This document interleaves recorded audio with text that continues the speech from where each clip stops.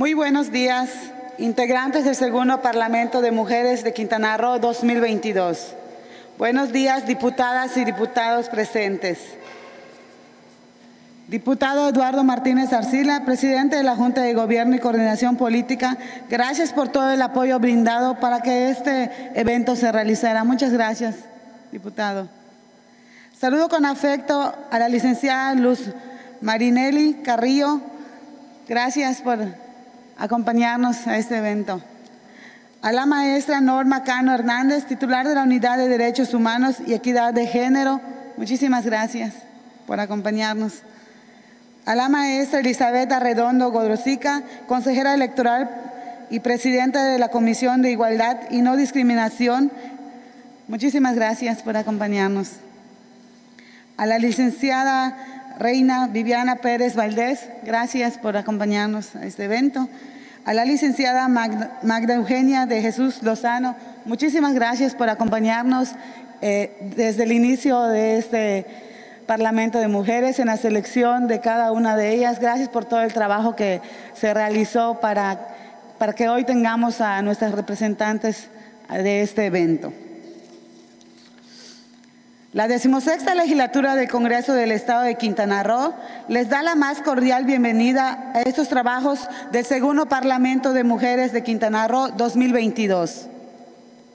La presencia de todas ustedes reviste de importancia porque será la voz de las mujeres del Estado. Sus ideas y sus propuestas sin duda dejarán huella en Quintana Roo.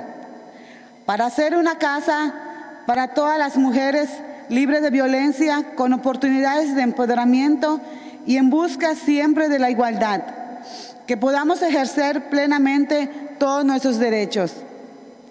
Es importante que ustedes aprovechen estos días de convivencia y hagan sinergia para que las ideas vayan más allá, lleguen a, todas a toda la sociedad y para que desde ahí, que es el mejor lugar para la acción. Sigamos las mujeres trabajando para cerrar la brecha de desigualdad, para que haya justicia para todas. Así nuestras hijas y madres puedan gozar de la igualdad que por años se nos ha negado y por la que se ha luchado mucho. Hay trabajo llevado a cabo por grandes mujeres y hombres. Se ha logrado avanzar en leyes a beneficio de nosotras, es cierto, pero la mejor garantía que las cosas se logran somos nosotras mismas, con nuestra voz y nuestras acciones apegadas a las leyes. Hoy es un honor tenerlas aquí y será un honor escucharlas.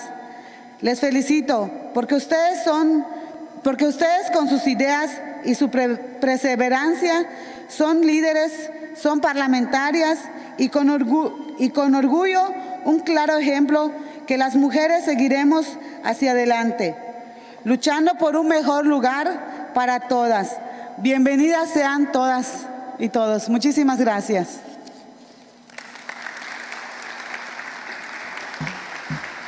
Le agradecemos.